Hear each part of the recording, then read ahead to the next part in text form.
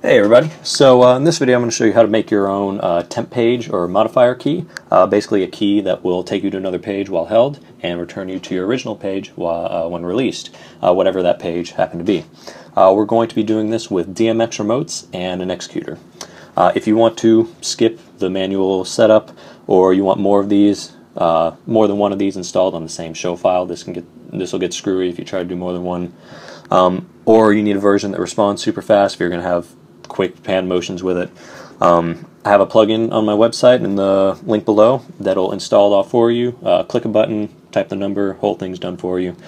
Um, but even if you decide to go that route, uh, these concepts can be used for other things, so I don't think it's a total waste of time to learn. But I'm also kind of a fucking nerd, so you know my opinion's a little skewed. So, anyways, let's get started. Uh, we're going to start out uh, in our setup. Like I said, we're going to do this with DMX remotes. So let's head on over there. Uh, and we're going to create two remotes, one for our on trigger and one for our off trigger. For right now, we are going to unpatch them.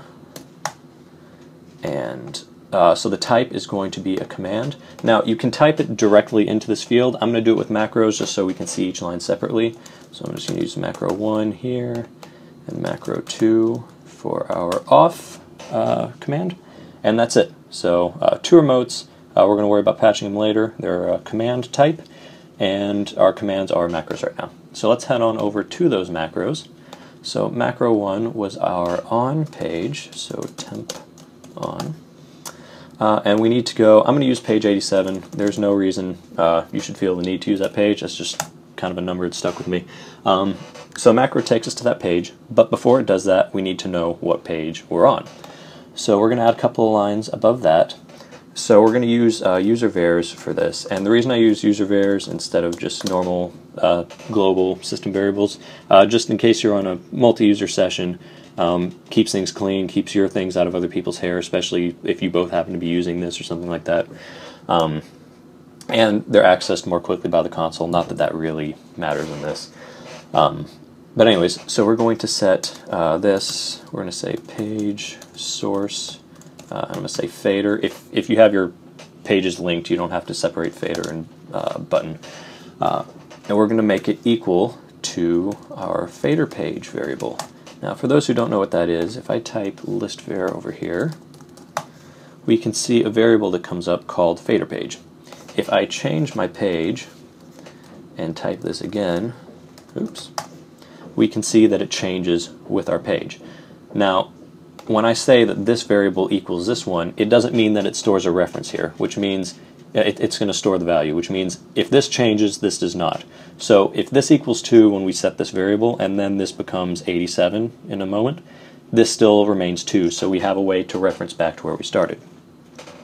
So uh, we're going to do the same thing with our button pages. Set user var uh, page source button equals oops button page. Uh, if you look up higher here, you will see there is another variable called button page. Uh, and that's it. So we store our current pages, and then we go to the page we want, and that's it. Now let's create our off uh, command. So temp off so first thing, we're going to return to the pages we had. So fader page, uh, page source, fader, and button page, page source button. And that'll take us uh, back to where we started from. I'll create a space there just for visibility. Uh, and just a little bit of cleanup uh, helps keep your show file not cluttered if you have to go look for a certain variable. Um, so we set user var uh, page source fader uh, equal, and then we don't put anything after it, and that clears the variable from memory. Uh, same thing with the other one. Page source button equals, and this also ensures that you can't accidentally trigger it and be taken back to whatever the last value of this was stored. Um, so it just kind of helps prevent other errors. So that's it. Uh, we return to our original pages and then we cleared out the variables and we're done. And we can test it right here. So we're using page 87. You can see we're on page 2. It takes us to 87, takes us back. We're all good. I turn on this, we go to page 1, takes us to page 87 and back. So we know that's working. Uh, now next thing, we need something to trigger that uh, DMX remote. So let's head on over, what the hell did I press, uh, to our patch. And we're going to create a new fixture type for this. So basically we want something with two channels, one to trigger it on, one to trigger it off. Uh, we're going to create one. So let's say dummy switch pair. We're going to edit it. We're going to add two parameters to it. Uh, let's go ahead and make sure we actually patch them to something. Uh, and now the attributes, I like to use dimmer attributes, and I will uh, explain that in a little bit, or as we go. Um, for our values, uh, I want you're going to want the one that's going to trigger it on to default at 0, and its on value to be 100, and reverse for the other one. So we want it to be at 100 normally. We'll have a cue that puts it at 0, and then when it's released, it goes back to 100 on its own. The reason I'm doing this in our highlight values is because if you tap full twice on any fixture that has a dimmer attribute, which is why I'm using this, um, it will take you to its highlight value. So that way we can just double tap full, we're at the value, we store it, we're done. Uh, I'm also going to enable snap, uh, just in case there's a fade time for whatever reason. Uh, it will make sure that these both trigger at the same time, uh, no matter what the fade time or what the fade percentage is, or the snap percentage. Um, just to avoid any clutter of one remote going off when it's not supposed to in relation to the other one. Uh, and that is it. That is all we need for this. So we're going to close out of that and we're going to patch it in. So let's create a dummy layer. Excuse you. Dummy. I can spell it like a dummy. Uh, we're going to select our switch. We'll give it some useless fixture number.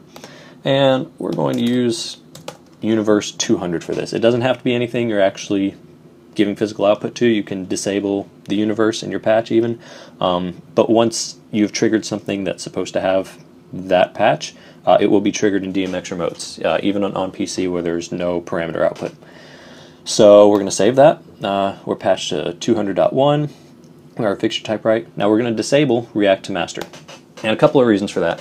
Uh, most obvious, if your Grandmaster's down, you're in blackout, you need to use this key. Uh, it's not going to work if the Grandmaster's telling it uh, don't work. Uh, second thing is that uh, if you ever use the store look feature, um, so there's a, a, selection option when you store cue that is called look. And when you use that, it grabs every fixture in, your rig that has React to Master enabled. Uh, what it does is it grabs anything that's above zero, it grabs everything about that fixture. Uh, anything at zero, it just grabs the dimmer information, so it keeps it at zero when you fade into that look. Um, like I said, except React to Master, so if you ever use that, this will not be affected by it, uh, so that can't screw up anything else.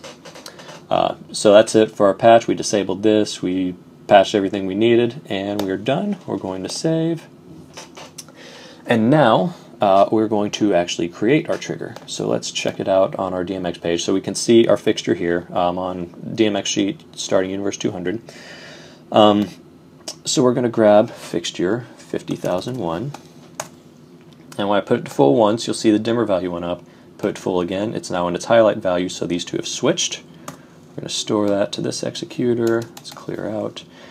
Uh, let's go ahead and label it, page 87 in this case going to assign some parameters to it. So first thing, let's make it a flash button. Uh, make sure that even if there is a fade time on it, uh, it ignores it. Uh, it's automatically at its full value immediately. Uh, also, we want to turn off, or sorry, uh, protect it from swap and kill. Uh, ignore executor time and turn off off on overwritten, although nothing else should be using this. Uh, and I also like to turn on autofix, um, which fixes it as soon as it's turned on. Just in case you forget to fix it, you can't end up on the other page uh, with no way to turn it back off. So that should be it for all this. I also like to lock the sequence. And the reason I do the sequence is because if you end up wanting to move this, you'll have to unlock it if you locked the executor. Um, then you might forget to relock it. So that protects us from accidentally storing other information to it, so you know that when you toggle this button, you're not going to flash your moles or something. Um, so let's go ahead and fix it like I mentioned. And now, when we press it, we can see up here that it is acting as a switch. One turns on, the other one turns off. So all we have left to do is go to our remote inputs and assign it the patch values. So we did universe 200, channel 1, and uh, also make sure that you are enabled, for fuck's sake, uh, down here. And that's it. So now we press this, it'll take us to our page, we release it, it returns us. Uh, one issue you might run into, let's use a different page number. So I've only got to page 500 stored in here. So let's do page 800. Now when I go to trigger that, we will see that nothing happens. And we look at our command line, we see an error that says number too big, because I've only got to page 500 stored, 501 is the biggest it lets me go to. Super easy fix, uh, store page, whatever page you're trying to go to, 800. All it did was tell the console that page exists now. And if we press this button now, we see that it's working. So that's it for that. Uh, you might notice, uh, I can't, I don't know if you'll be able to tell in the video, um, but there is a slight lag between pressing the button and it actually triggering. You can see here maybe uh, there's a delay between actually seeing the flash on, flash off, and the trigger of the DMX remote. Um, that's just kind of the way DMX remotes work. It's the same on a physical console, although I think it's a little bit faster. Um, the way around this is putting it into the command field of the cue itself. However, I would suggest against that uh, in this instance because if you trigger it on, off, and on again too fast, it'll store the page you go to as the source page because it won't have turned off again because your off is still on DMX remote.